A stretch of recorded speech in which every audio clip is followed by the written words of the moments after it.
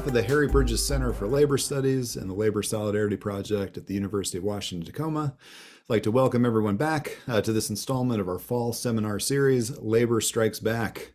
So, as a, as a labor educator, one of my goals is to challenge students to think intersectionally. And I think, you know, labor issues, as we know, are kind of never just labor issues. They need to be understood alongside and contextualized within issues of race, ethnicity, gender, and nationality, to name just a few of those factors, right? And not only does gaining this perspective allow us to understand how economic motives compel people to act and structure their lives, uh, it also illuminates the opportunities and the limitations that those individuals face as they participate in the American workforce, right?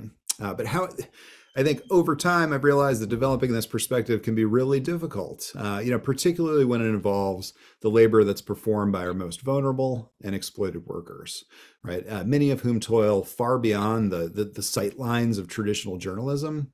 Um, you know, sometimes it, it almost feels like there's a group of workers in this country that are almost invisible by design, right? And these are people whose labor goes unrecognized and often their voices go unheard.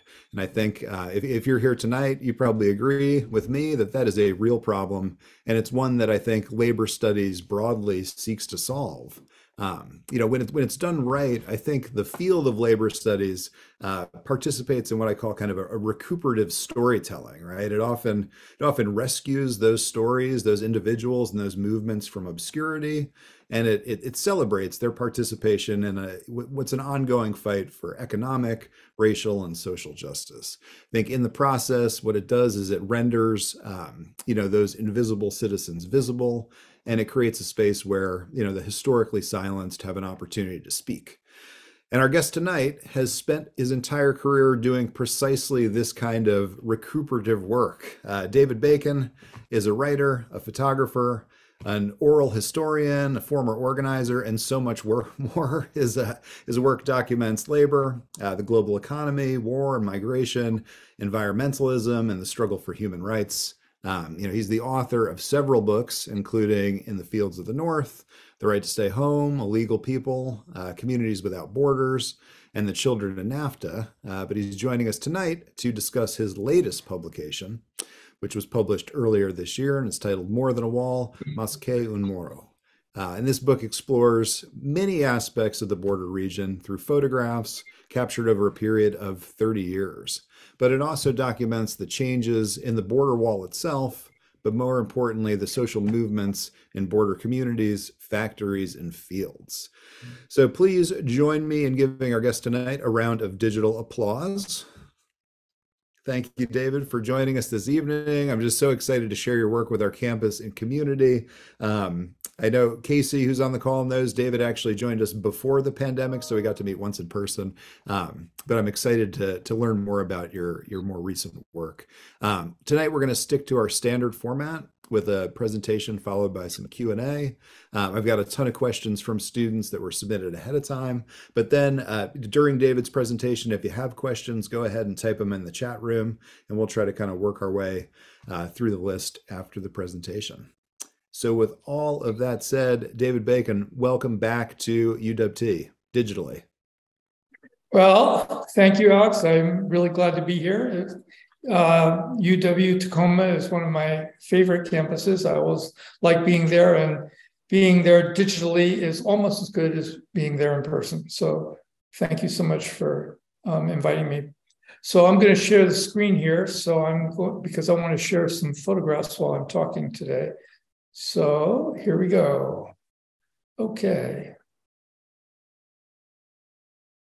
So, um, I want to start by reading you the two short memories of border crossers um, that start the book. One uh, I met in Omaha, and the other in Tar Heel, North Carolina. And they connect this book with some of the ones that I've done before, especially Illegal People and the Right to Stay Home, which situate these experiences within the overall system of displacement and migration in which millions of people participate. But since we're going to talk about the border and the wall, and most people think about the border as a place that people cross, um, let's start there. Okay, there we go.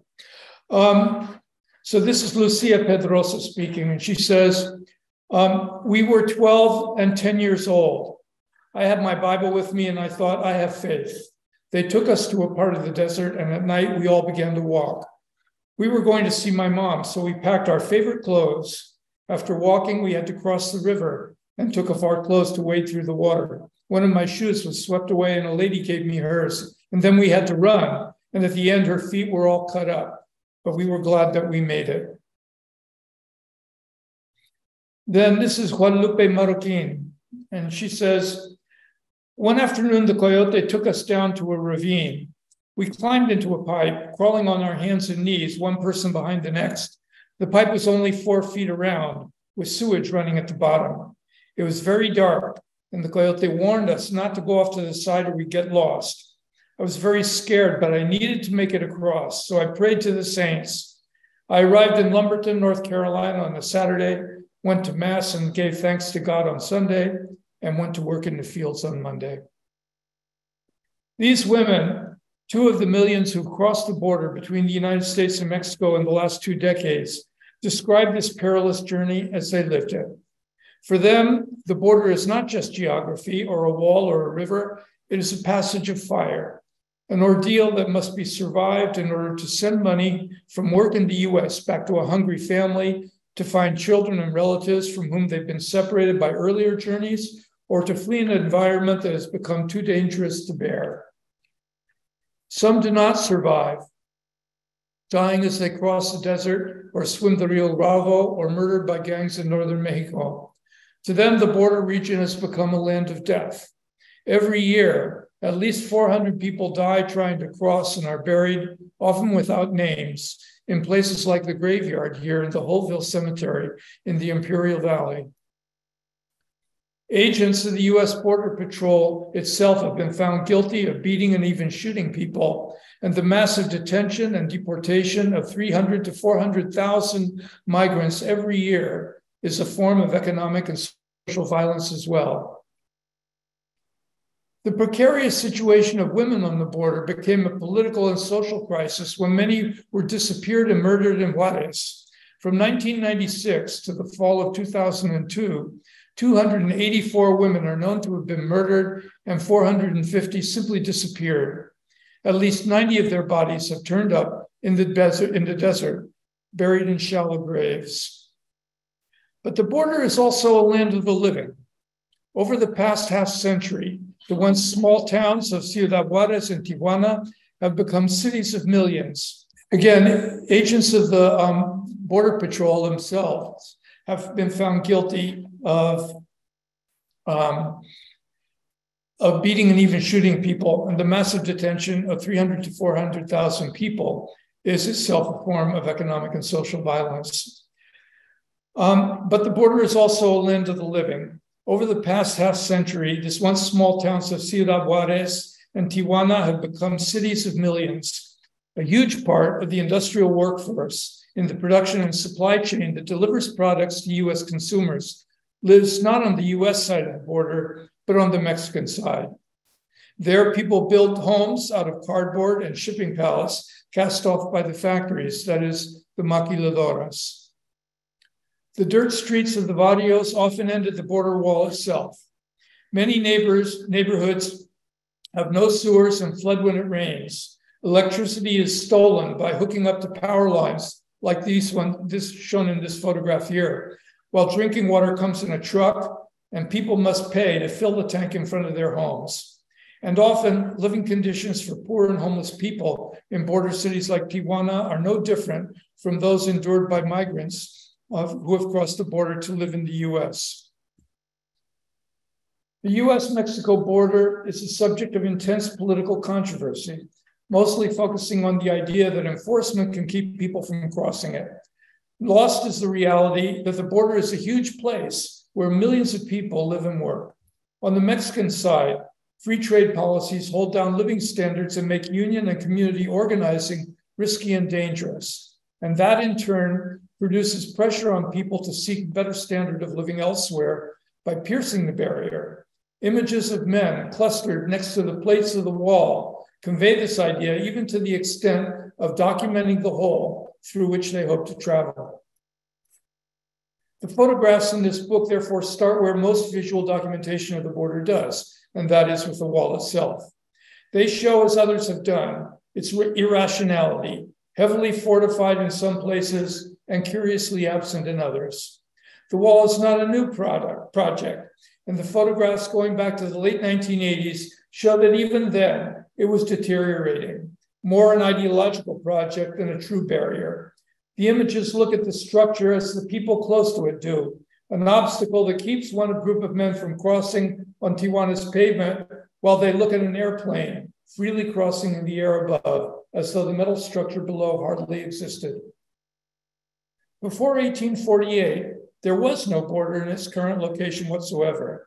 That year, at the conclusion of what the US calls the Mexican War, the two countries signed the Treaty of Guadalupe Hidalgo. Mexico was forced to give up 529,000 square miles of its territory. US troops occupied Mexico City to force the government there to sign the treaty. The so called Mexican cession accounts for 14.9% of the total land area of the United States. So the wall and the border, as they exist today, are the product of war. Ironically, as President Trump and previous U administrations have fortified it with ever larger structures, they've created ever greater memorials to this colonial war of conquest.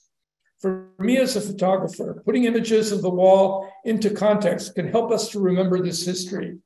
They should provoke us to ask how the border and the wall came to be here to begin with. In fact, most people living near the border in Mexico don't have any hope or expectation of crossing it. More than half of the border population have no tourist visa or border crossing card. Instead, most border residents seek a way to earn a living and raise a family where they are. And when the wages are low and the housing often poor, they try to confront those conditions by changing them, not by crossing over to the other side. The border, therefore, has been the scene of some of Mexico's sharpest social struggles. And these photographs are an effort to document that social history. In the 1990s, in Maclovio Rojas outside Tijuana, land occupiers fought the police inside of the border wall for the right to build homes, and in the same period, organized strikes for an independent union in the Han Young Maquiladora, which is what we see here.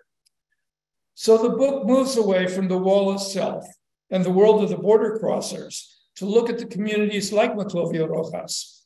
Because they were created by land occupations by poor people, often workers from the maquiladoras, the community's legal titles were almost always denied by the governments that were anxious to protect investors. Facing efforts to drive them from their homes and off the land, they quickly became communities of resistance. When I began taking photographs there in the 1990s, Maclovio Rojas was the scene of intense conflict. Today, it is a much more peaceful place, and its residents over the years have forced the local government to provide schools and at least a minimum level of services. The tradition of land occupation is still very much alive, however, and similar communities of resistance exist on the outskirts of almost every large city on the border. Cañon Buenavista was created in two separate land invasions by rural workers from the agricultural valley just south of Ensenada. The first was led by Benito Garcia, a charismatic leader of agricultural strikes in the early 1980s. Garcia organized farm workers who were living in labor camps or even sleeping by the roadside to occupy 50 acres on a desert hillside. And the book includes the memories of a young woman who was swept up in this movement, Natalia Bautista. The Confederation of Indi- the Confederación Independiente de Obreras Agrícolas y Campesinos, or the Independent Confederation of Farm Workers and Farmers, a radical rural organization founded by the Mexican Communist Party, led many of these fights in the San Quintin Valley in the 1990s. Beatriz Chavez, who we see here, and Julio Sandoval were imprisoned in Ensenada for two years for occupying land for homes. These are communities created by land hunger, people drawn to the border for work, but with no provision made for housing. To survive, many communities of resistance appealed for support for the, from the Coalition for Justice in the Maquiladoras and other cross border groups. The Frente Indígena de Organizaciones Binacionales organized support for indigenous migrants both in their towns of origin in Oaxaca, in the towns south of the border in Baja California, and in indigenous communities north of the border in California. In other words, where indigenous people are going and communities are going in search of work. Popular rebellions on the border are not new. They've been going on for more than 100 years. In 1906, Colonel William Greene, owner of the huge copper mine in Cananea, just a few miles south of Arizona and Sonora, brought the Arizona Rangers across the border to put down a strike now considered the first conflict of the Mexican Revolution. You know, you hear about the Texas Rangers, but there were Arizona Rangers and there were even California Rangers in this period, not long after the Treaty of Guadalupe Hidalgo. And the purpose of them all was the same, and that was to repress the communities of Mexican people, not only on the US side, but occasionally even on the Mexican side. From 19, from 2007 on, miners in the Cananea mine struck against its current owner, Grupo Mexico, more than a century after that first battle, and then allied themselves with farmers who were protesting the pollution of the Sonora River by a massive toxic spill by Grupo Mexico in the Cananea mine, which was on strike at the time. For three decades, I've taken photographs of the many efforts by workers to organize to resist the poverty that the border factory regime imposes, showing both the actions in the streets and the costs visible in the homes of workers themselves by miners and by people living throughout the border region. This book, that contains 354 photographs along with a dozen oral histories that couple voices with the images that depict their lives. And the purpose of this method is to present the border's residents as actors in pursuing social justice, not simply as victims of what they're protesting. The intention of these photographs, taken over three decades, is to provide a broader view, to help to come to terms with the sources of migration and to protect the human rights of migrants and working people. The border, as I said before, is a vast area with a vibrant social history. Over the past three decades, it has also become a powerful social symbol. The border played a big part in electing Donald Trump president, whose campaign rallies featured chants of build the wall and promises to deport millions of people. The people who crossed the border and now live in the North have become an integral part of the working class in the US. Nowhere is this more true than in agriculture. Both in northern Mexico and along the Pacific coast of the US, most farm workers are indigenous migrants from southern Mexican states like Oaxaca, Guerrero, and Michoacan. They speak languages that were thousands of year old, years old before the European colonization. And this ought to be familiar to you folks up there in Tacoma and Washington State because of the birth of the newest union that we have in this country for farm workers, that is Familias Unidas por la Justicia up in Bellingham, which was a creation of these same groups of farm workers migrating out of Oaxaca, Guerrero, and Michoacan in southern Mexico. Farm labor is hard and dangerous work, and often children join their parents in the fields. In recent years, on both sides of the border, workers have gone on strike and organized new unions to raise wages and improve their conditions. These photographs demonstrate that in a world of globalized agriculture, the conditions of workers have become remarkably similar, despite the vast difference in the standard of living from one side of the border to the other. As it presently exists, the wall is only a few decades old in its oldest sections. Already, even the newer wall of 20 foot high iron bars is rusting. This is not the Great Wall of China. It's clear that this wall is not a work for the ages, nor is it a great accomplishment of human labor or engineering. In fact, building it clearly didn't produce many jobs. Skilled construction workers, that is, electricians, pipe fitters, and build, bridge builders were not needed here. And you can see also the irrationality of it by the fact that it simply doesn't even exist in some places. The Immigration and Reform and Control Act of 1986, the amnesty law, began the process of dumping huge resources into the border into border enforcement. A real fence was built early in the 1990s made of metal sheets taken from decommissioned aircraft carrier landing platforms. The sheets had holes so someone could peek through, but for the first time, people coming from each side could no longer physically mix or together or hug each other. That old wall still exists in many places on the Mexican side, but Operation Gatekeeper sought to push border crossers into remote desert regions where crossing was much more difficult and dangerous. And to do that, the government had contractors build a series of walls that were harder to cross. The aircraft landing strips were replaced in 2007 by the 20 foot wall of vertical metal columns, and those metal columns were extended into the Pacific. The wall at the Parque de la Amistad in Tijuana has become an ever changing artwork. As the bars rust, they've been painted with graffiti that protest this brutal division. Meanwhile, the border crossings themselves increasingly become sites of protest over the policies that kill migrants or against political repression in Mexico that forces people to consider leaving, or here, in the case of strikers in San Quintin, who marched up to the border wall as a way of saying to people in the United States, when you eat those strawberries or tomatoes, think of us, the people who are picking them. The wall's main importance, again in the US, is its symbolism that is used to win higher budgets for the US Department of Homeland Security and votes for Trump. And given that about four and a half million Mexican migrants lived in the US in 1990 and 12.7 million by 2008, the wall did not stop migration across the border despite its catastrophic human cost. But the wall itself has also been used for art, protesting the death of migrants or highlighting the migrant experience. In the first years of the mass deaths of Operation Gatekeeper, Tijuana artists made sculptures of the plastic water bottles left in the desert to rescue migrants. They placed them on the wall itself with crosses, as we see here, with the names of people who were found dead in the wilderness. Other artists, myself included, have used the wall for public exhibitions, mounting large photographic prints on the bars, showing the lives of migrants on the US side. This has been done only on the Mexican side, since the US Border Patrol prevents such displays and often even simple access to the US side of the barrier. When people arrive at the US border, they're treated like criminals.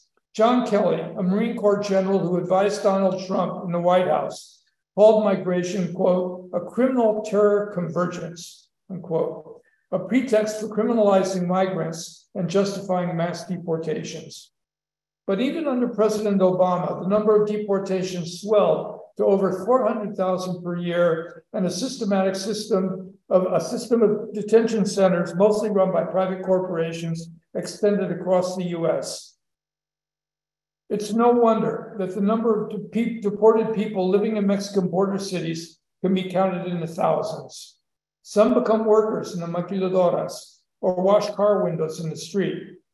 In the US media, however, people become invisible once they've been put across the border. And for over two decades, I've taken photographs to document what happens to them. People in the movement have faith and trust in my intentions in a way they might not for an unknown photographer, which is one of the things that allows me to take pictures like this.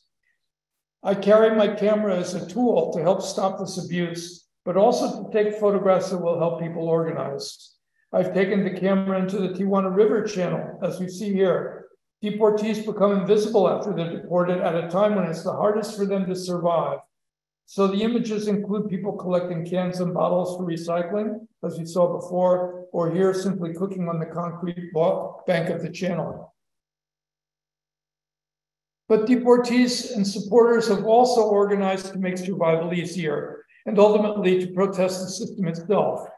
Border Angels a group um, here in the US helped migrants take over the migrant hotel in Mexicali to give shelter and food to people as they're deported through the border gate. Even the park next to the Tijuana River became a protest site as homeless migrants and deportees joined city activists to stop its privatization at the same time as they lived on the site in an Occupy style protest. It's a balance to produce committed documentation as a participant and as a partisan, and at the same time avoid romanticizing social movements. I don't think a photograph can humanize or put a human face on people or events but I understand the intention to make a political protest or problem more accessible to a broader audience by focusing on an individual in front of a lens. It is a big media story, and it produces a fascination with the border among US and international photographers and artists who then create photo documentaries and art projects popular in the mainstream media.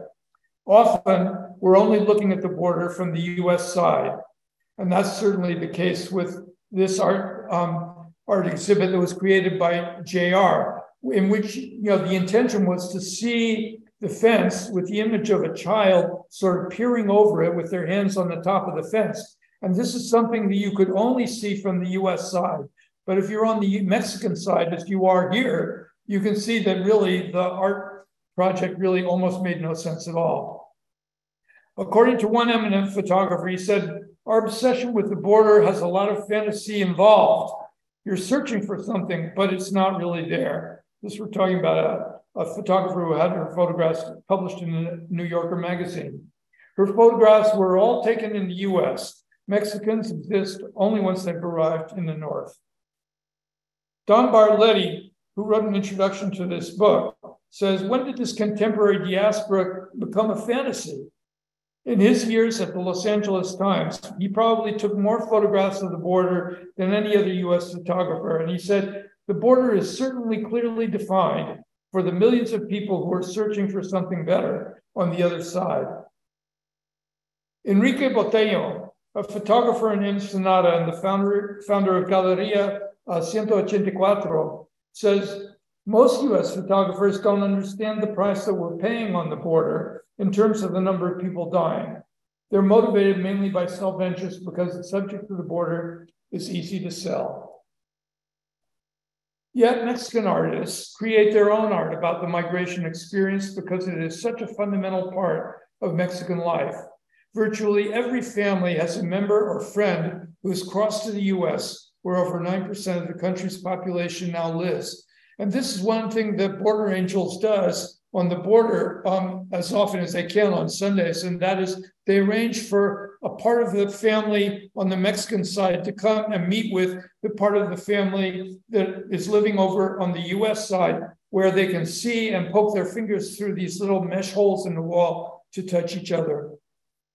At the ironically named Friendship Park, the Parque de la Amistad in Playas de Tijuana, the graffiti on the wall's bars is also an art project. The wall there and on the fence leading to Mexicali's crossing gate has become a venue for photographers and artists. Their art is sharp, critiquing mass deportations and the hard lives of migrants on the other side. Art or photography can help change the world. It arises from the political commitment of the artist and the photographer. We should strengthen solidarity on all the borders of the world, Enrique Botello urges, so that someday all of those borders will disappear.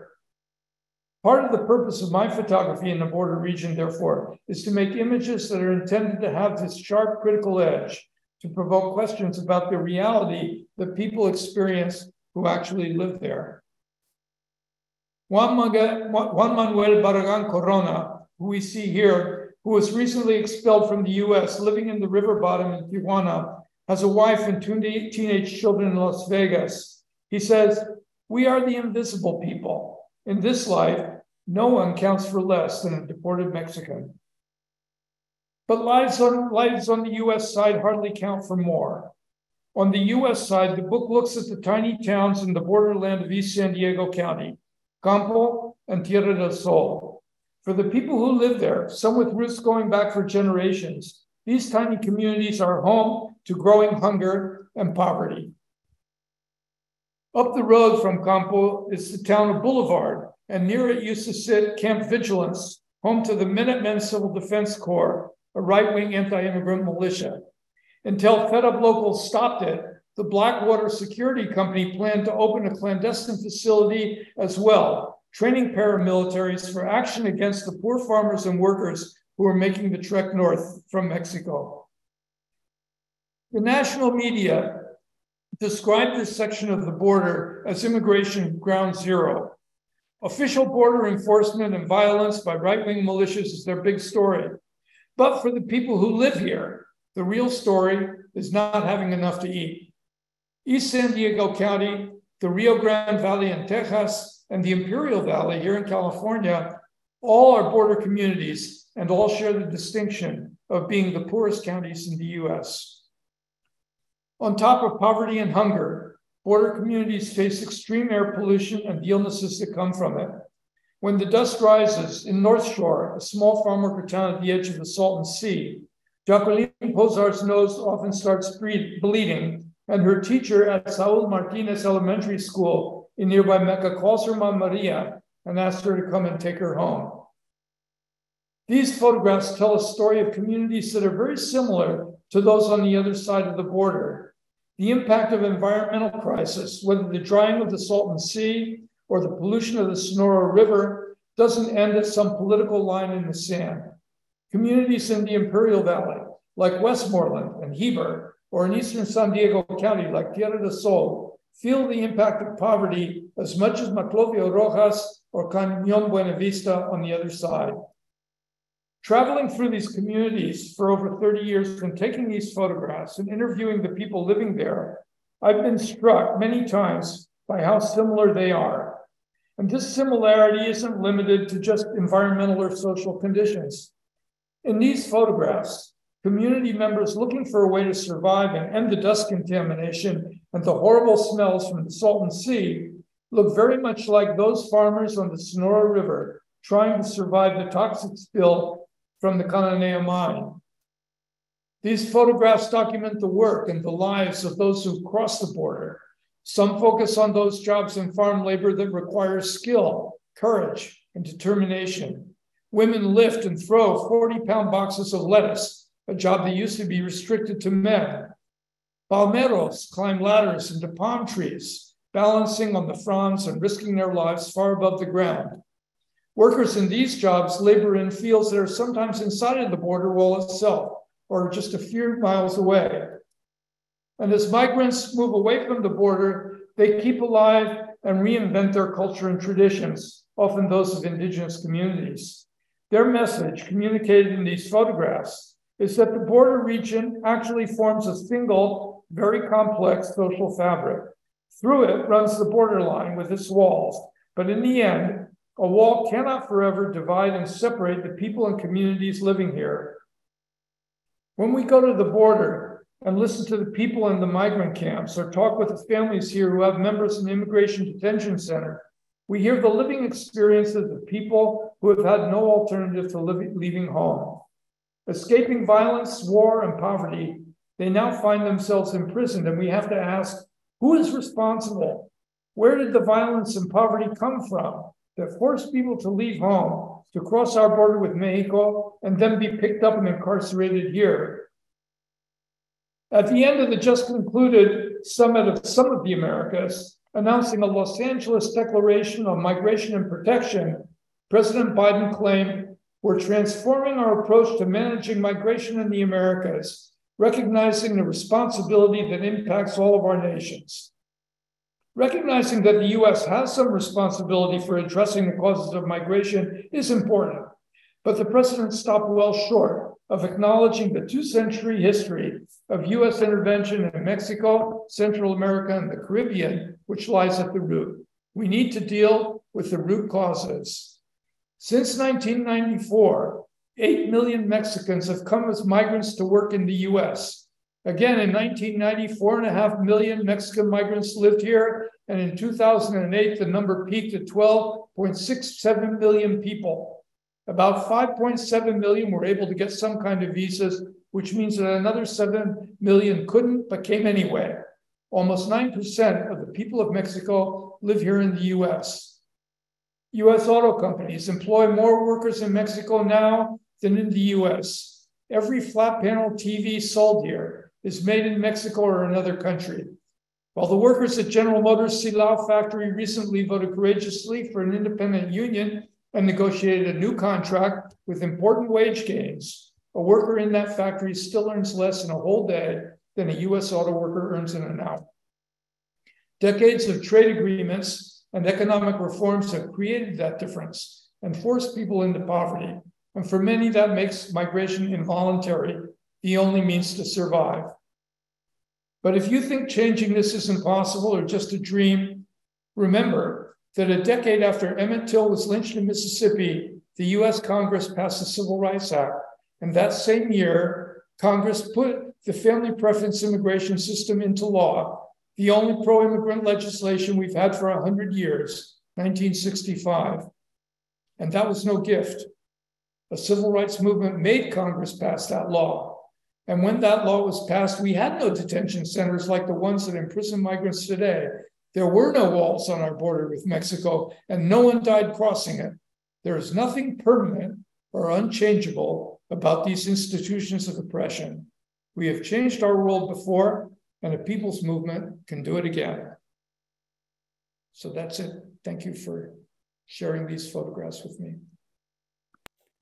Excellent. And what an uplifting note to end on. Uh, so join me in a, a, round of applause for our guest tonight, David Bacon. Thank you so much for your work. Uh, absolutely fascinating. I can't wait to get my hands on a physical copy of this book. Um, but the, the, the, work is amazing. I, I, love your characterization of, of the border as a kind of passage of fire or an ordeal. Um, this idea that it that it works sort of more uh, more as an ideological project than an actual structural one. These are just really important ideas to consider in terms of the the wall and sort of the rhetoric of the American imagination. Um, so for our attendees, if you have questions, go ahead and type them into the chat room. We've got uh, some questions that were submitted ahead of time that I can work my way through as you all type.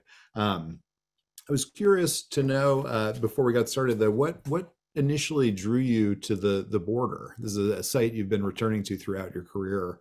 Um, what how, how did you get started there? Well, I think I'll tell you a little story. Um, I went to work for the Farm Workers Union um, in the 1970s. Um, having grown up in Oakland, knowing no Spanish, knowing really nothing about rural life, about Chicanos, Mexicanos.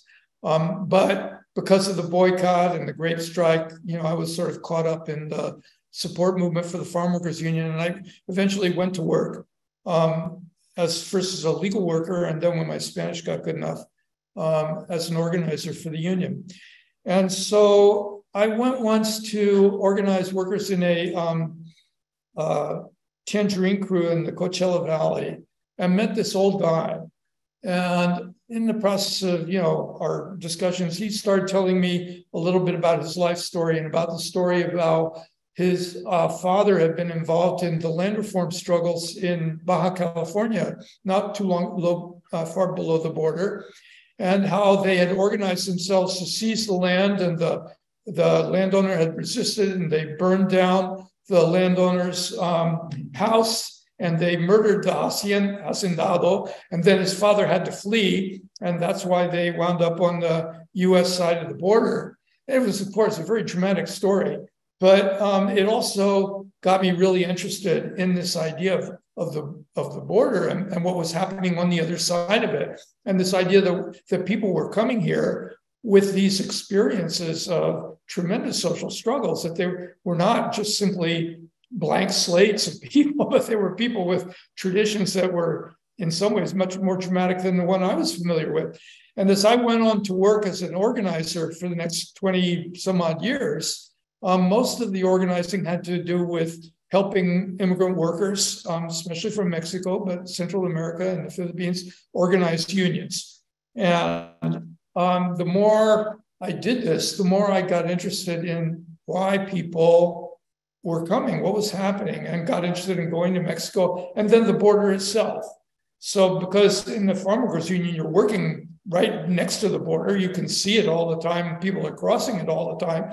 The first immigration raid I ever saw was in the Coachella Valley, um, which is not far from the border. And I think it was those experiences as an organizer that got me interested. And so when I began working as a photographer and as a, a writer, it was kind of natural to start taking pictures of what I already knew was there, which was, you know, in this case, I think the first big photographic project I did was to go to um, the Coachella Valley and take pictures of the palmeros and the palm trees, and then from there um, down to uh, the border itself.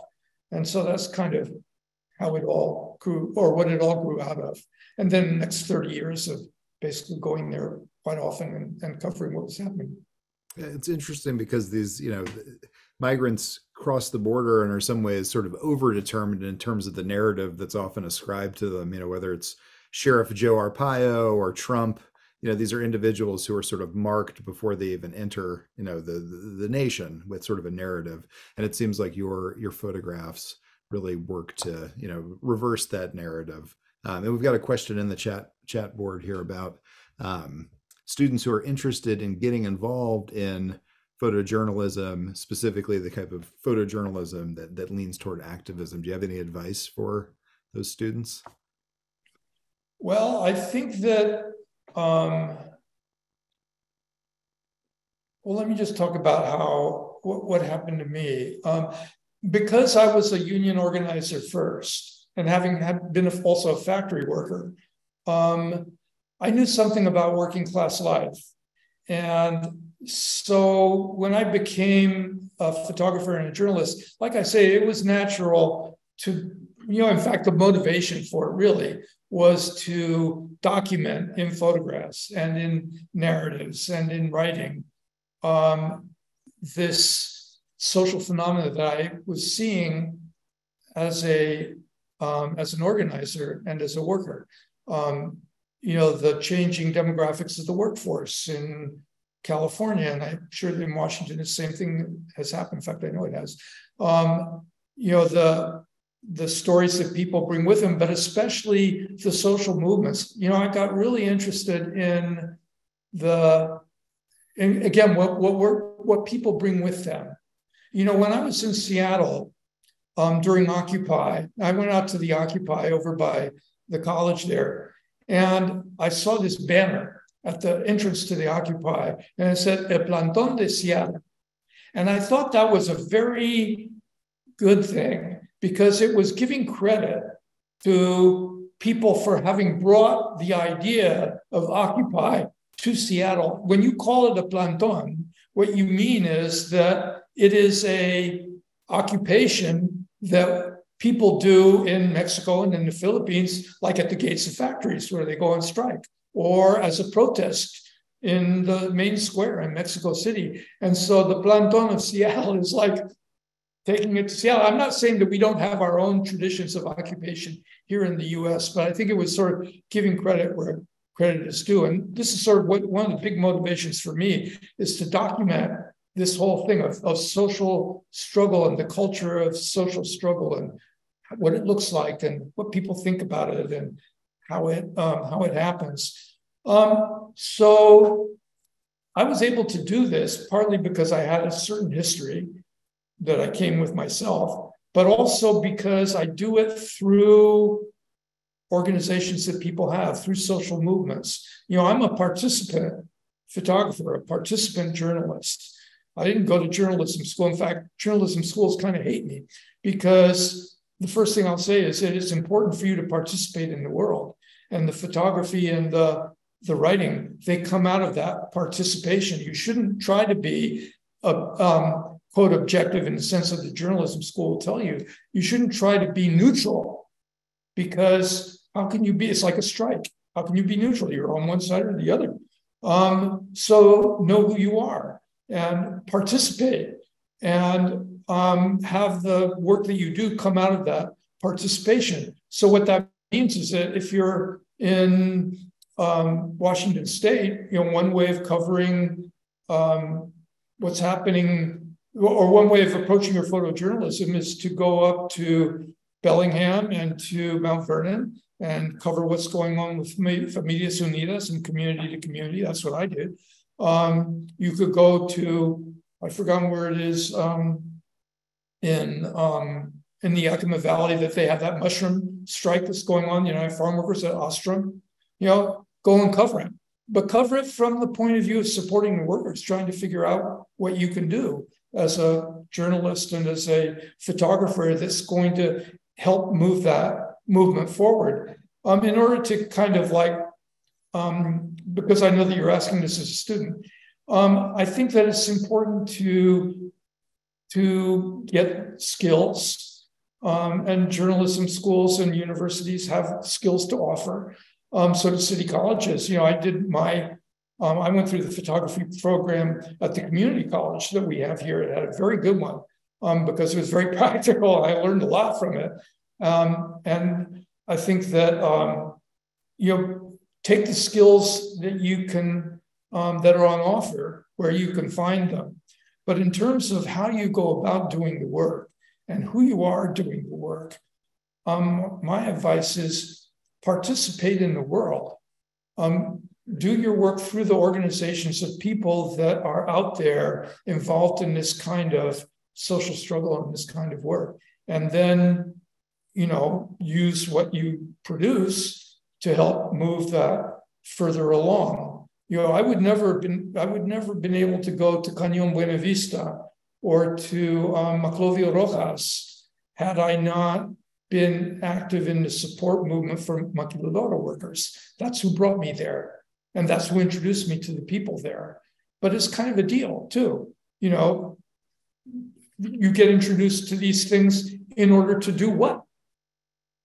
And the answer is in order to help those movements. And your photographs can help, your writing can help, all these things can help, but they help because you try and figure that out. You know, you don't look at it as being somebody else's problem or that you're just going to throw this into the world and have done with it. Um, you're not a parachute journalist. You're not a parachute photographer. Don't try and be one. Um, I, I know that you have to go to work for a living. Photographers do. So sometimes you're going to go to work for a newspaper. A newspaper is going to send you here and they're going to send you there. But Don Bartletti, for instance, worked for the LA Times for 30 years as their person on the border and wound up with this incredible body of photographic work, which unfortunately belongs to the LA Times, and um, knowing a great deal about it. So he was able to combine, you know, that sort of job, job, you know, the wage job of being a photographer for the LA Times, but also doing work that I think really advanced our understanding of the communities of the border and what was happening on the border there. So um, I know that's sort of a complicated answer to the question, but that's what I got.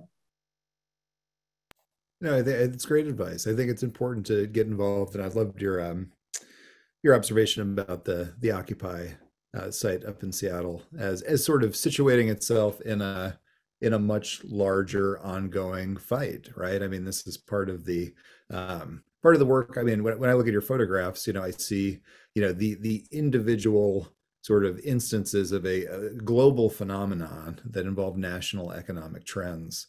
Um, i'm kind of curious we had a, a, question submitted ahead of time. We read um, one of your recent articles uh, that you published in the sierra club the uh, what will it take to build a broad-based movement for a just transition? Um, and and one of my students was was very appreciative of your work and I think was looking for sort of language we could use uh, to to sort of communicate to people who might not sort of be aware of the the conditions that farm workers fake, face on a daily basis. Um, and the question was just like, what does the average person not know about their groceries and where they come from, and how could we, you know, uh, work on developing an approach to sort of educating our, our peers uh, about sort of why they should care. Um, you know, and another question that came in about sort of, well, why, you know, we live 2,000 miles away from the border. Why is this something that somebody in Washington should be sort of um, not only aware of, but sort of care deeply about? Mm-hmm. Okay. I'm kind of combining a couple questions here, but I think the first one had to do with um, you know how do you well i guess the, the, first one we can work in sort of chronological order um, why should all of our students here at uwt uh, feel passionately about these issues um, and then once they've once they've acquired that passion how do they sort of if they're not going into photojournalism how do they sort of communicate to others uh, why this is something that they should also feel passionate about? Okay well let me take them in another order. Um, starting with, uh, you know, what should people know if they don't know about farm workers? And the fruits and vegetables that we eat. Um, so I think that you know teachers have this this kind of slogan that's you know, students learn uh, students' learning conditions are teachers' working conditions. In other words, the welfare of students and teachers are bound up together. Um, and I think that you can say that say it in a different way in relation to farm workers, and that is that the um, the conditions of farm workers have an impact on the kind of food we eat from all different ways of looking at it.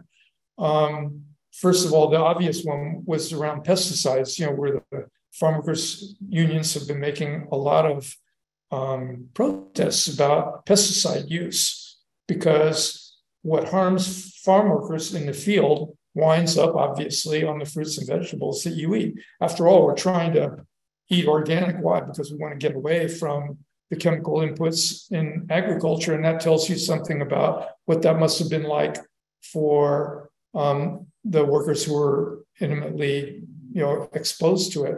Um, but it's true in, in other ways too, that um, even if you have workers working in an organic field, um, does that necessarily mean that things are better for them?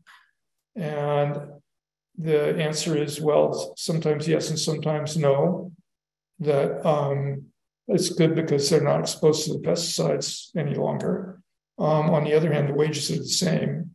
And you know, I wrote another article that was about um, sexual harassment in the fields, and actually, you know, sexual harassment is very omnipresent in um, for farm worker women, and it is just as much a question in um, in fields as it is in organic fields as it is in non-organic fields.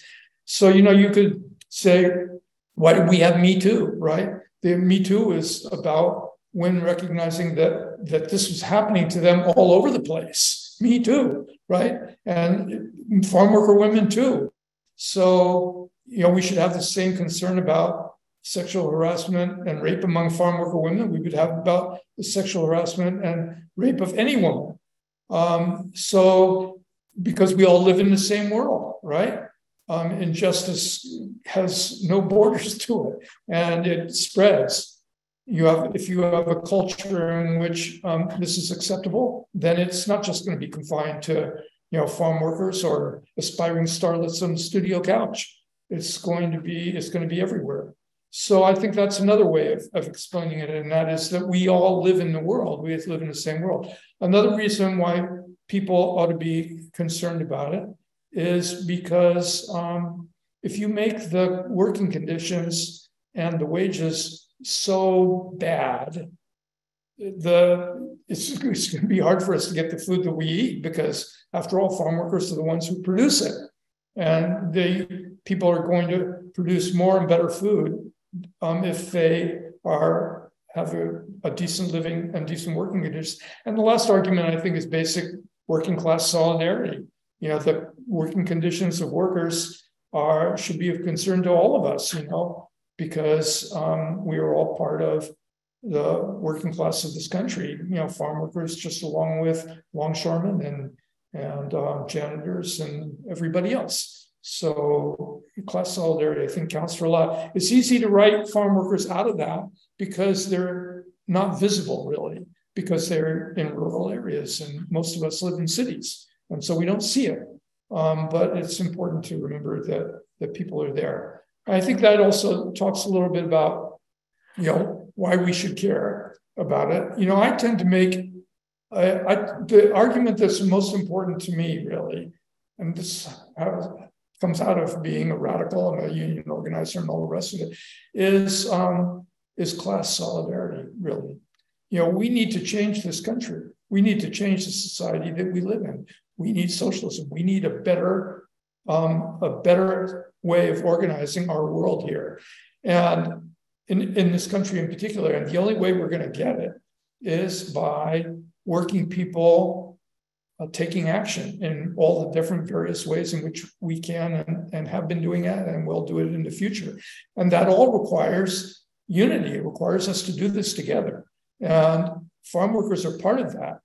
You know, they have some special characteristics in terms of who they are and how they work. um, but they are they are part of the working class of this country and have as much of an interest in changing it and in social justice as the rest of us do. And so that's a very, to me, a very powerful argument that we cannot make progress without it. We cannot change our world the way we need to change it um, without it. But I think there are also, you know, the moral arguments that also I think carry weight. You know, people produce the food that we eat. Don't we have an obligation here? I think clearly we do. You know, we have an obligation to be concerned about it. It's not. It, it's not. How you want to put it? I was going to say it's not special to farm workers. It is kind of special to farm workers because our relationship to food is so important. But you know, if we watch TV on a flat screen TV, we ought to be as concerned about the working conditions of the person who made that TV um, as we, you know, and recognize that it was human labor that went into it, and therefore we should be concerned about it. Um, and I think that argument holds true for all um, workers, but it holds true for farm workers um, in particular. So I guess those are just, just some thoughts about it. Well, and you're right to say that you know so much of that labor is invisible to so many of us, um, but the you know the results of that labor is often winds up on our plate, right? We're sort of surrounded by the you know the um, the effect of the labor, the consequence of the labor, but we don't sort of you know take the take the time to sort of track that that sort of chain of possession back to its origins. Yeah. Well, we consume the commodity. Yeah. And, and, and because it's food, we consume it in a very intimate way. It goes right into us. And we spend a huge amount of our time cooking and talking about it and involvement with food all over the place. So, you know, it is special in that way, I think. Yeah. Have you seen um, another article that I, I, had the students read in advance? Um, was the uh, recent piece that ran in the Nation, the Biden versus Newsom on farm, farm workers' rights to vote um, about the uh, AB 2183, that legislation. Um, can you can you just sort of walk us through kind of how you see that kind of legislation? I think had a couple students who were, um, you know, generally we think of California up here in Washington as, as sort of one of the good states, right? Sort of working on behalf of farm workers. So I had a couple students who were um, who were concerned. Well, if if it was this difficult to get legislation passed in California, you know, what does this look like in some of those redder states where a lot of this agricultural work is taking place? And then, um, you know, just how sort of legislation like that, uh, you know, simultaneously represents a, a, step forward or, you know, potential progress, but then also, um, you know, when so many of these efforts sort of die on the, to use a terrible metaphor in this case um, you know what does that mean about sort of the the progress that's being made around this type of work? Well specifically about the law to begin with uh, what it basically is is what's called a card check law. In other words that um, workers who want to organize a union can do so by signing what are called authorization cards saying that you want to be part of the union, you want the union to represent you. And that if a majority of the people working in a certain workplace sign those cards and then turn them into a state agency, that the employer then has to recognize the union and bargain a contract. Um, all unions have, want this. And we have tried to reform our national labor legislation in this country to get this. And we have not been successful at getting it um, through Congress. Um, but it's on the agenda of, of, unions everywhere.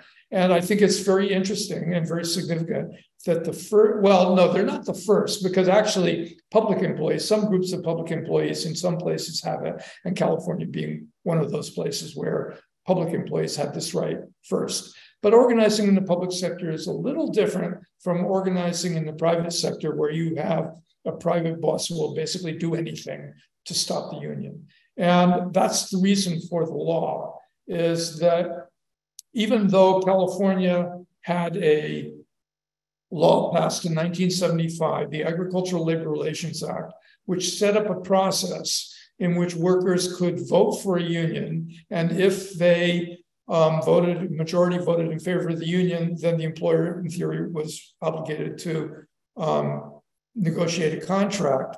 And it also, the law also said that um, it was illegal for an employer to try and intimidate workers to stop them from organizing.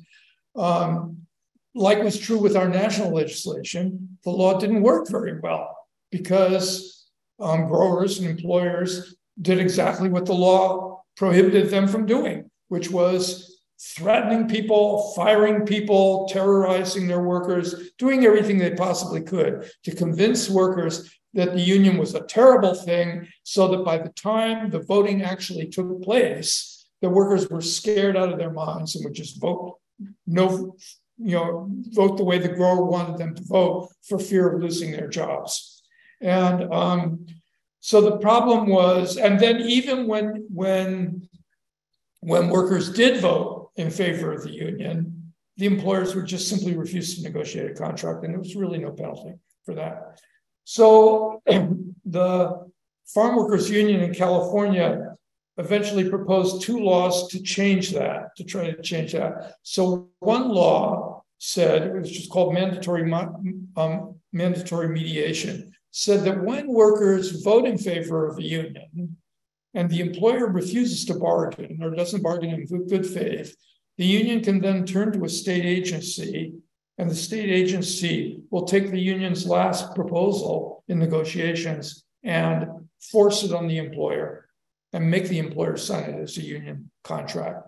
Um, that's something that hardly exists anywhere um, for any union. And then because it didn't, um, because it still had workers voting in this situation in which you know you had elections, but the employer would terrorize the workers to get the the choosing out of this environment in which it was so easy for employers to intimidate workers.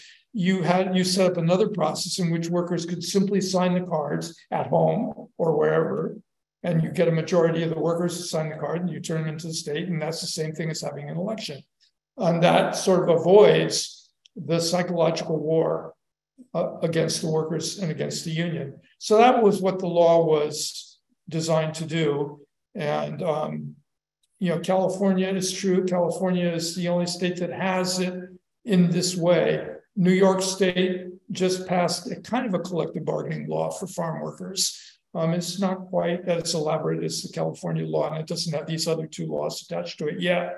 But I think that the you know New York is moving in that direction. Um, Washington State um, you know, I've had I've had labor lawyers in Washington State explain to me that there are some some rights to collective action that farm workers have in Washington State that are not the same as the California law. But it's not as though farm workers in Washington State have no rights.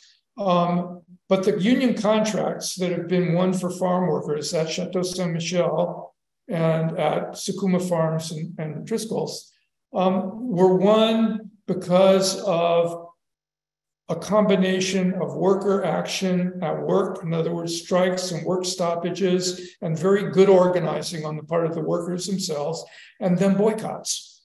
You know, the threat to cut off sales.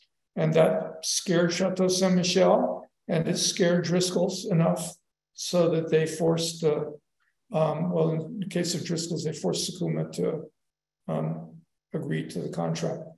So even in the absence of the law, it's possible for workers to organize. And we actually have farm worker unions in different parts of the United States, even though we don't have those laws.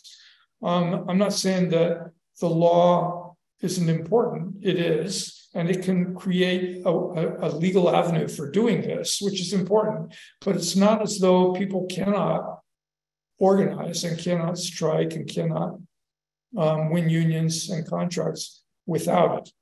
And I think that the trend is going in that direction. If you go back 50 years, you know, we had one small organization of farm workers that was sponsored by the AFL-CIO. And then we had the beginning of the National Farm Workers Association, and then we had the grape strike. And following the grape strike, then we had this beginning of this proliferation of farm worker unions. So um, I think it's important to struggle for law, but it's also possible for workers to organize even if they don't have one. And actually, organizing without the law is a good motivation for getting growers and legislators to think about having law because they don't want strikes. So, anyway, that's just how the law works and where it came from. Well, I think that that public buy-in is is so important, right? That's we, got to hit them in the wallet at the end of the day, right? And that's I think uh, one of my students pointed out the uh, the fact that you know Gavin Newsom has um, you know connections within the you know the, the universe of big agriculture. Um, couldn't help but notice the irony of the fact that he took uh, two hundred fifty thousand dollars from the the owners of uh, an organization just called the Wonderful Company, which seems like something out of a satirical post-apocalyptic like uh, workplace farce. Um, you know, how do we eh, how do we hold our public elected officials accountable when they're you know even even in the era of blind trusts like they clearly don't work and these people are often overly leveraged um, how uh, uh, just to just to answer that one student's question about sort of you know non-california and washington states if we're looking at sort of uh, redder states you know should we just assume that they're you know in a, a, generation behind us in terms of legislation or that it's gotten even worse over the last 10 15 years? Well you know i wouldn't call washington a redder state to begin with. I mean i think sometimes i think washington is out in front of california Oh no, no, I was I was placing Washington, California, sort of in the in the good states. You know, what oh, about in the good in the good category? Yeah. Well, um,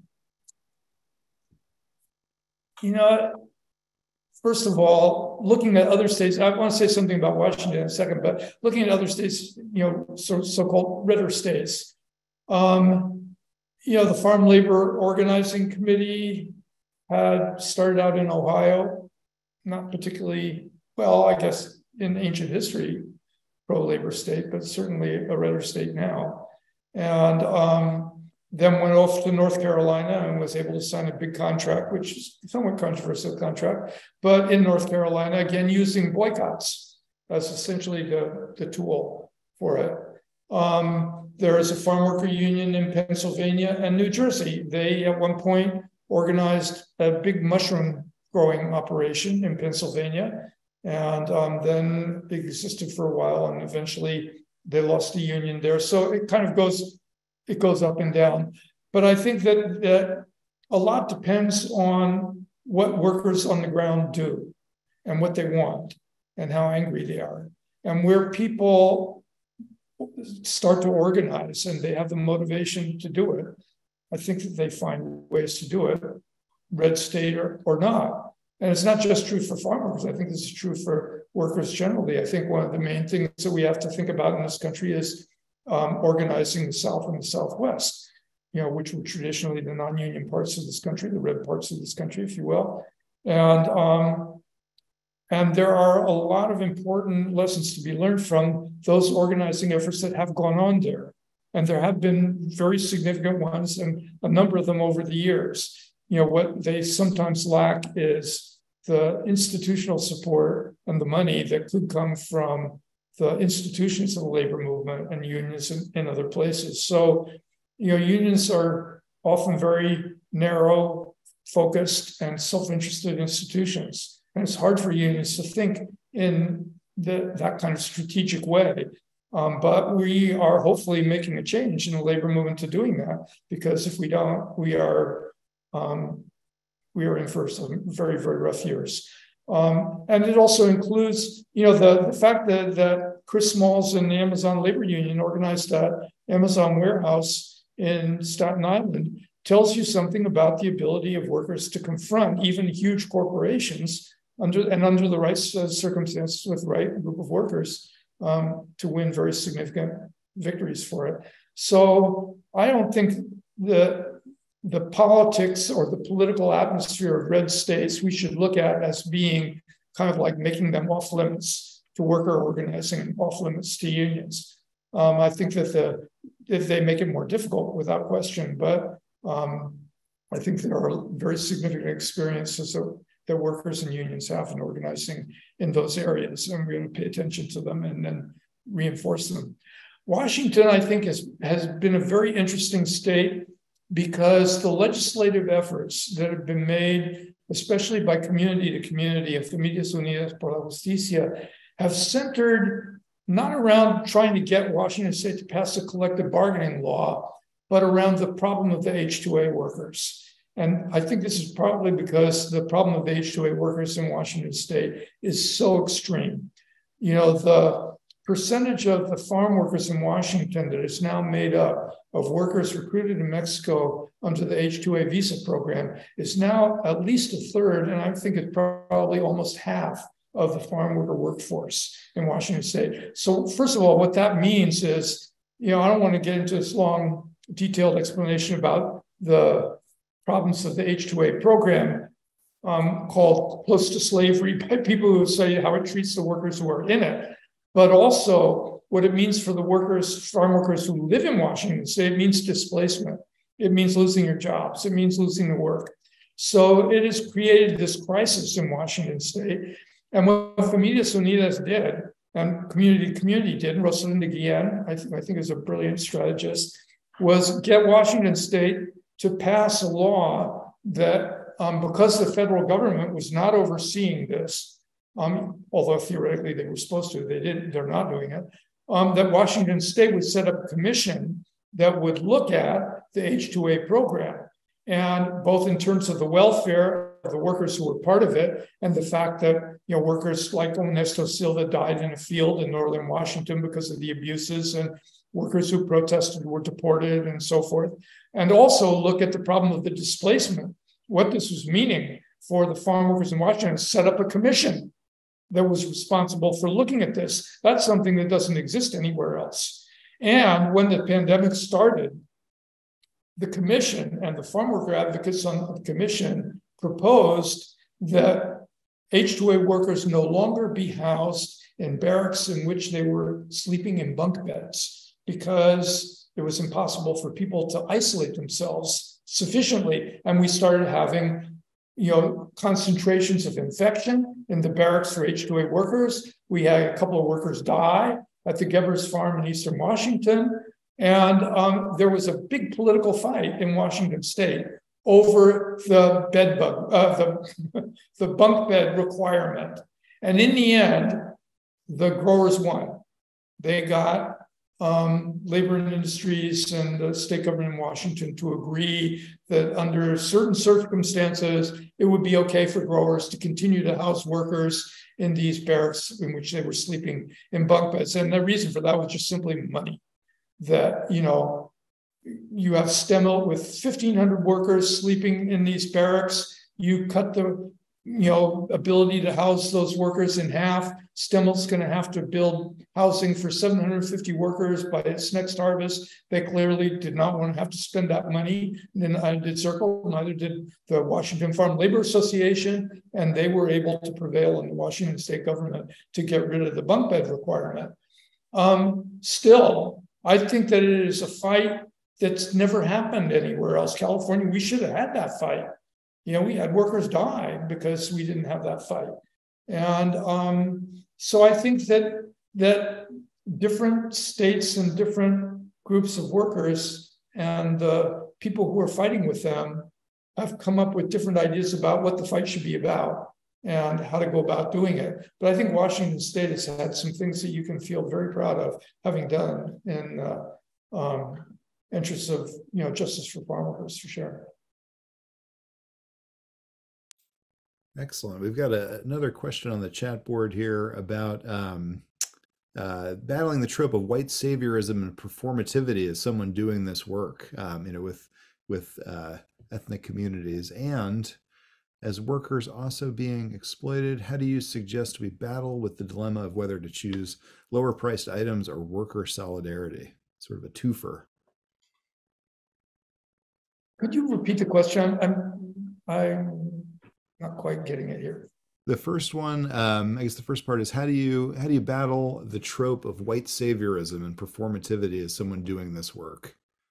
Um, and then the second one is more about sort of the dilemma of whether to, you know, choose a lower priced item or worker solidarity.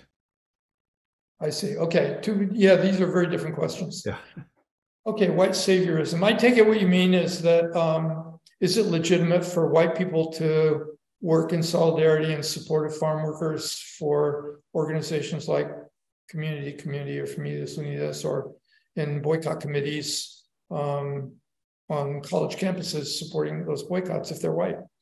Um, you know, when when students at UT Tacoma, at UW Tacoma, and at UW Seattle um, organized support committees for Familias Unidas. Um, they did that because the workers came down from Bellingham and Mount Vernon and they visited those campuses and spoke with students and asked them, help us. You know, we are in a fight with this company. And if you support us and you start picketing stores like Costco and getting the berries off the shelves, um, you will make it possible for us to be able to strike in, in Bellingham and win a contract. And, um, and that, in fact, is what happened. Um, so, was it legitimate for the white students on those campuses to support the workers? Clearly, it was. Um, you know, I'm not sure if this is what you're referring to as white saviorism, um, because I think that I need a, a, another example of it. If you, if you, if what you're talking about is something different, you know, because I think what I see as important here is the need for class solidarity here. You know, in other words, that that people need to support those workers who are out on strike and who are struggling um, because it's important to working people generally. And um, white people are part of the working class just the way farm workers are. Um, and I don't think that that we're saving people by doing that. I think we are helping them, and hopefully, you know, other struggles are going to get the same kind of support and solidarity um, in the future as well. And that includes also trying to support the welfare of working people, even if there's not a strike on. You know, if you have white students at UW Tacoma who start talking about the importance of fighting around the H2A program, what happens to the H2A workers? Is it a good thing? And um, what happens to workers, farm workers who are displaced by that? And then, as a result of your trying to understand that program, and what it's doing. You then go and talk to Patty Murray and tell her, don't vote in Congress for things that are going to strengthen that program.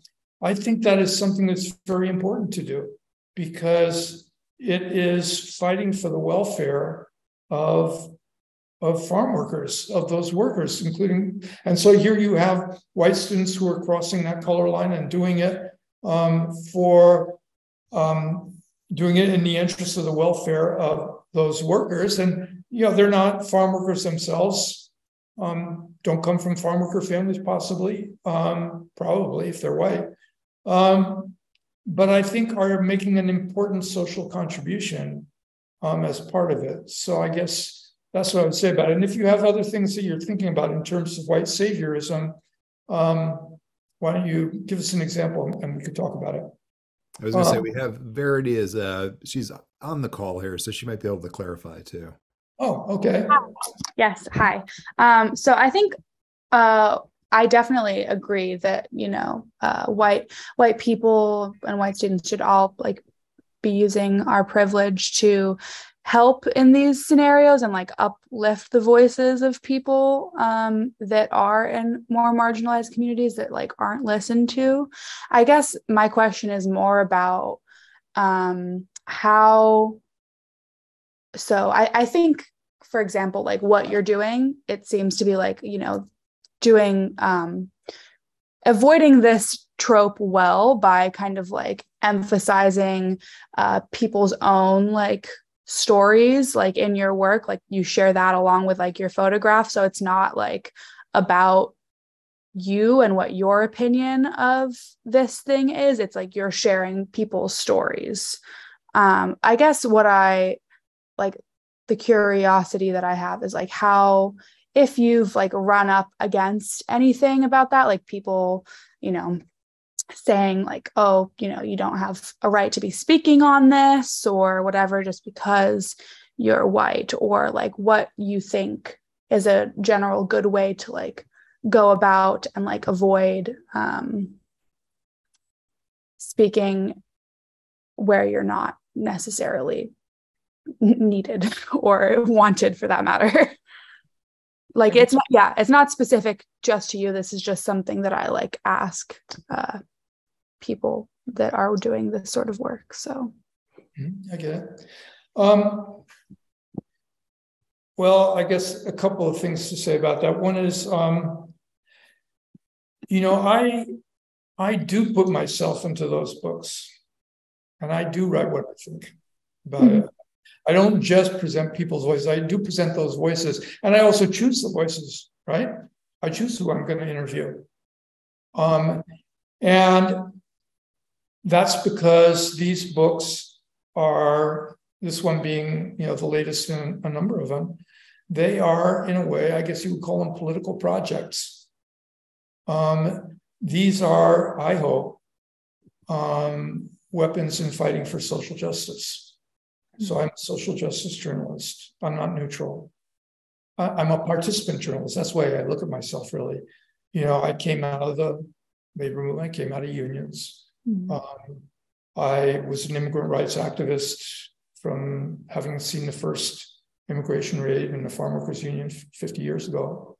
And i've helped to start immigrant rights organizations as well as participated in them and then written books about them and then taken the pictures and then written stories about them. And so the the the people that i choose to interview are the ones who i think are going to help to move this movement forward. It's not a random thing. I, I don't go out into the street corner with a microphone and just interview everybody who passes. In fact, you know, the woman who I interviewed, who was our sort of um, representative worker for the um, strikes at, at, in Bellingham, Rosario Ventura, um, you know, I met her and got to know her, first of all, because um, we had a this support thing for the workers once they had come back to California. And the workers and these were the strikers had introduced me to her and we had talked about having to find somebody to interview to, whose story was gonna we were gonna tell. And it's kind of a funny story actually because when i went to interview her at her home i was going to interview her husband because you know men are more important than women right? So um and so we, there i am sitting in the living room and trying to explain what we're what we what we want to do here. And um and he's looking very reluctant, you know, I'm kind of like, mm. and um, and then I was, I thought, okay, this is just not going to go anywhere. And she says, interview me. I thought that was amazing just by itself. And then we had this wonderful interview. She tells a story that was very dramatic, and you know, it's published in one of the books, but we also used it in other ways as well too. And then at the end of it, she had her children come out, and she was a weaver. She was a, a woman, and so she had this huipil that she had been weaving. And so she put on the pieces, and then her daughter put on her pieces, and we took this picture that went with it. And it was really, it was really great. Um, but it's very so all I'm trying to say is it's intentional. It's not, it's not random. And I'm I'm there as a participant in it and as an actor in it. And so if you want to say, well, okay, um, would it have been better to have somebody who was Mexican or Latino doing this instead of you, um, to me, that's a theoretical question. Maybe so, but there was no one other than me. I mean, in fact, not only that, it was also, I also played a role in trying to figure out what to do here. That we, that, you know, how the interview and then what we did with it. So the books are made up in that way. And um, and I think it's very important for journalists, and I would say even especially important for white journalists to be participants.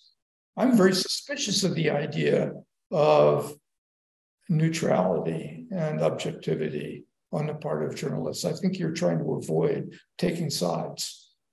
because I think the world is full of sides here, and you have to decide are you on the side of justice or not? And if you are, then what are you going to do about it? Um, so I guess that's um, that's one way of of answering the question. And the other way is that in the introduction to each of the books I've done, I've done another little piece of who I am. It's kind of these autobiographical things, but you know, how did it come about that this white kid growing up in Oakland, not knowing any Spanish and so forth, wound up working for the Farm Workers Union and then did this stuff. And so I try to sort of like talk about what the path was as a way of sort of explaining myself, you know, and how I got there. Um, you know, that's really pretty much all I can do about it, you know. If that's not legitimate in as far as some people see it, that's okay.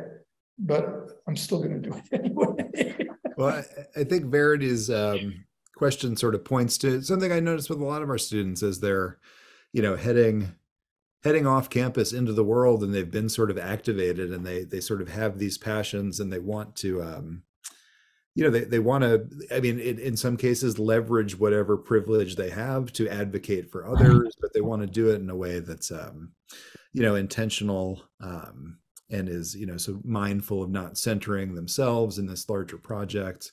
And um i mean honestly as somebody who's who's very familiar with your work over time like it's it's like if if people just followed your example and sort of did the the due diligence of sort of uh, you know engaging with the communities and listening you know listening first long before acting and i'm sure long before the camera comes out you know it's the it's the storytelling and figuring out how you can best sort of advocate on behalf of these communities um, i mean that's that that's to me is the you know i guess the best part of my white privilege is that i can use it to sort of advocate for you know people who don't sort of um, you know enjoy the the privileges i have. Um, you know but but doing it the right way and the you know sort of the um, you know the, the way that's going to sort of least center myself is something that you know i mean it's it's it's a matter of um self-reflection and sort of but again i think david no, your work I would say a couple of really brief things about it um, one is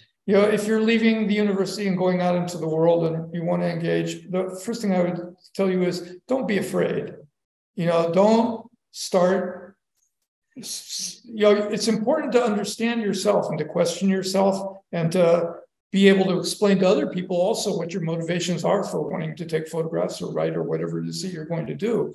Um, so you have to sort of understand yourself and get into this dialogue with yourself about what, um, what, you know, why it is that you want to do these things. But don't let it stand in the way of your doing them. You know, better to go out there and and start doing the work and get criticized than not do it. You know, you can always learn from criticism and if there's something you're doing wrong you can always change it but um, but it's important to act. It's important to act. You know don't be an armchair observer.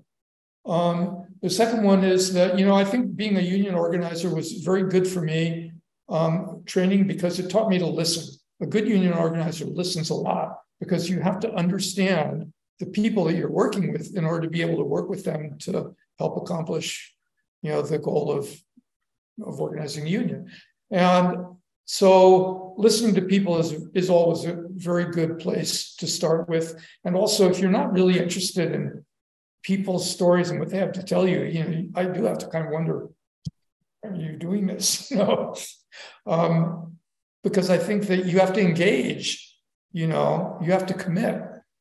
Um, you know, it's not for standing on the sidelines, it's for committing.